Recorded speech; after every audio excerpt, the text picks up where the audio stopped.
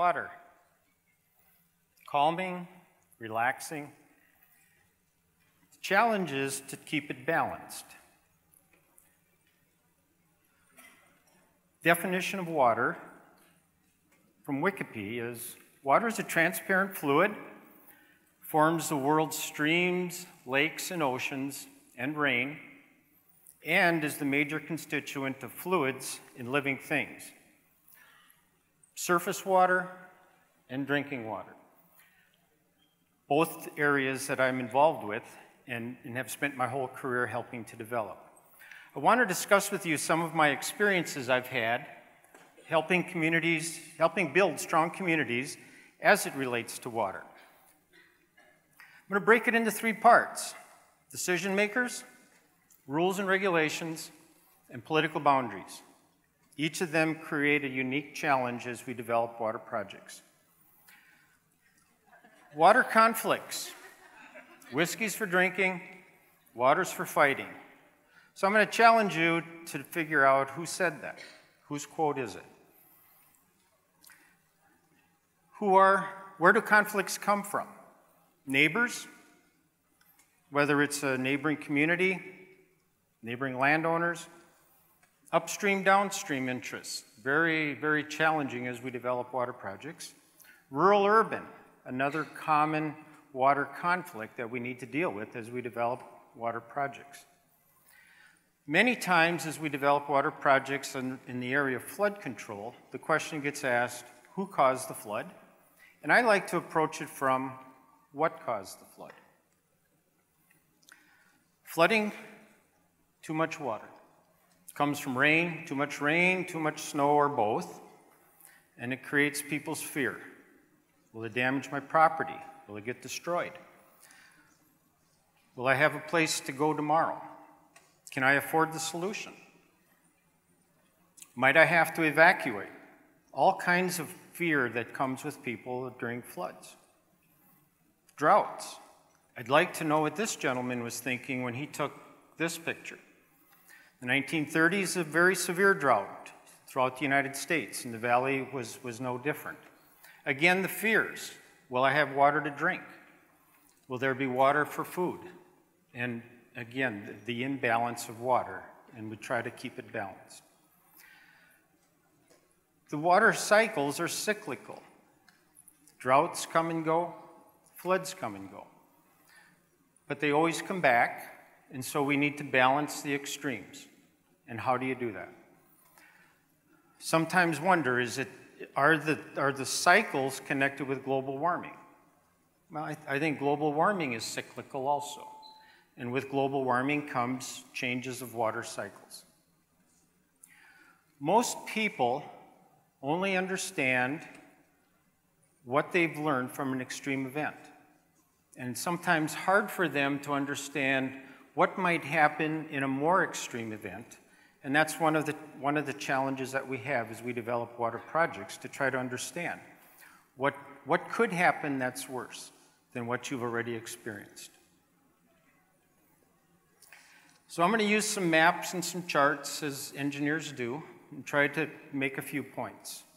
This map is the average annual precipitation over a 30 year period throughout the United States. Green is wetter, and the dark colors are drier. What I do know is those colors change through time in all the regions. Where we're at, in the Red River Valley, yellow and gold on this map, sometimes it's green, sometimes it's orange, creating the extremes that we need to work around. So, decision makers. Who are they?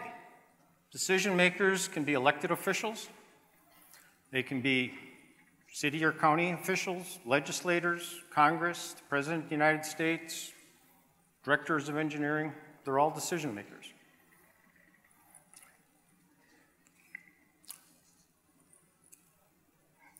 In addition to the decision makers that are elected, we have uh, agency directors, people who sign permits, people who sign records of decisions. They all have a factor in projects being advanced. And the last group is citizens. We all have input. We all become part of the decision making process as projects are developed. Many times, the challenge with projects is to determine who is the decision maker, or in some cases, who are the decision makers, where multiple people have to make decisions. Rules and regulations. NEPA is a rule, it's an act that was passed in 1969, and it created an environment where decision makers are required to know what the impact of the environment is before they do an action. An action could be developing a project, funding a project, or even giving permission to somebody else to build a project. Prior to NEPA, the conflict of water projects was generally worked out in the field during construction. Many times decisions were made in a smaller, smaller setting, public didn't get a chance to participate, and so you found out about the project while it was being built.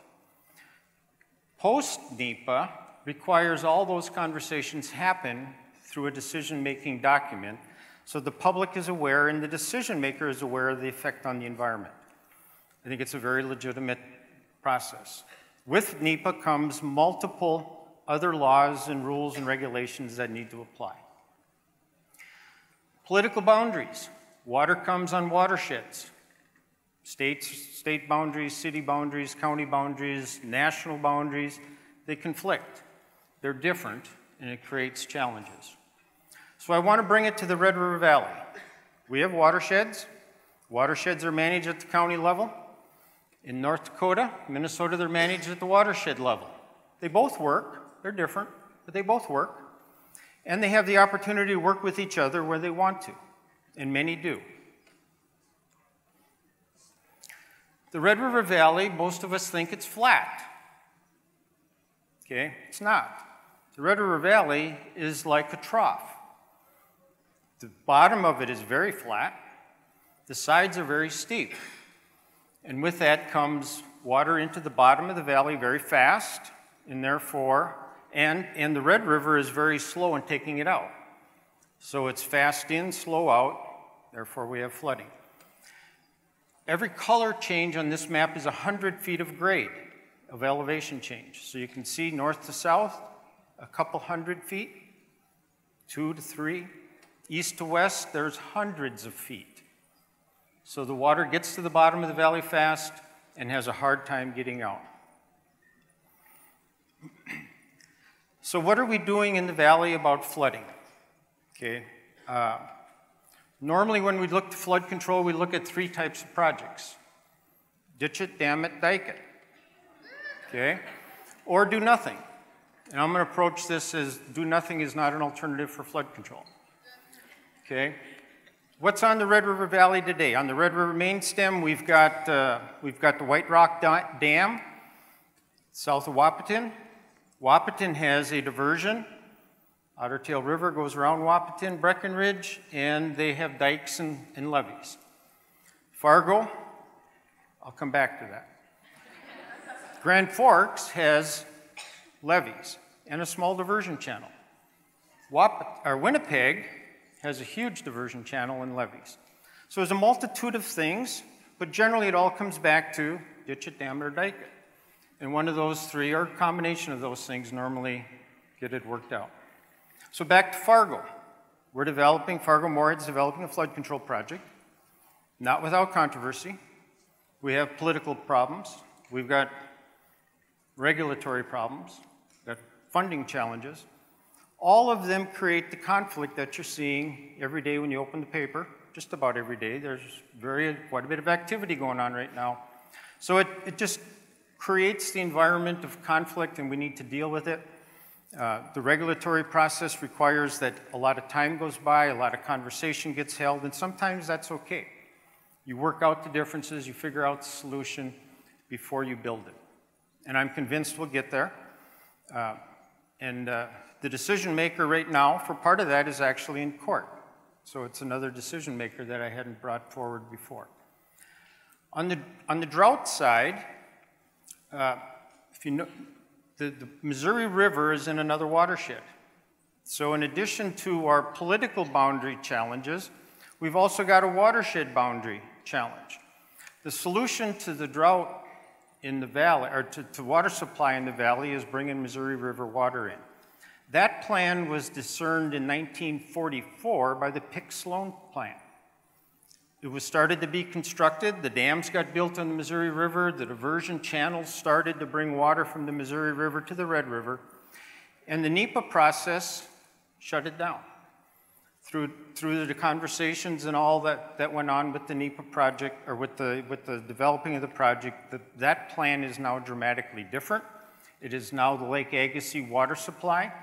Uh, originally, Garrison Diversion was going to bring irrigation to the valley, and now the plan is to bring drinking water to the valley. Again, very controversial, very time consuming. That particular project is now in its 70th some year.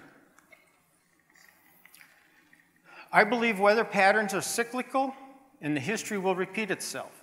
So if anybody thinks there will not be a drought in the valley, you're kidding yourself. And if anybody thinks there will not be another flood in the valley, you're kidding yourself. They will happen if we don't do something soon in Fargo, in Moorhead. We're going to have the Grand Forks model, which is unfortunately you got to destroy the community before you rebuild flood control. I applaud the decision makers in the valley for, in Fargo Moorhead for trying to get ahead of the destruction, to try to get the project built before we have to spend all the money twice. So back to the original question. Whiskey's for drinking, water's for fighting. Who said it? Most people think it was Mark Twain back in the mid 1980 or 1800s as the United States was being developed. Well, some of you know that I recently bought a barrel of whiskey at an auction one night for NDSU, so I'm convinced Jack Daniels coined it as he rolled out his first barrel on a marketing ploy. Thank you.